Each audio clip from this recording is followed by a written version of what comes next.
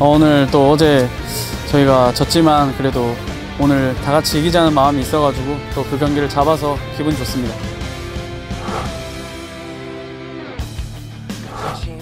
어, 솔직히 뭐 멘탈 관리 비법이라기보다 늘 항상 좋은 생각만 하고 제가 좋았던 경기나 뭐 이런 거 보면서 저 그런 걸 계속 생각하면서 했던 게 또 좋았던 것 같고 그리고 저희 팀이 지금 잘 나가고 있으니까 그 분위기 좀 이어서 가고 있는 것 같습니다.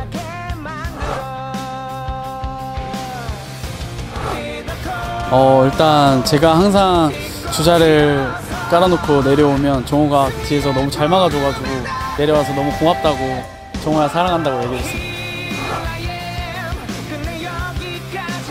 어, 일단 이 코로나 때문에 이렇게 뵙지 못하는데 야구장에서 얼른 뵀으면 좋겠습니다. 감사합니다.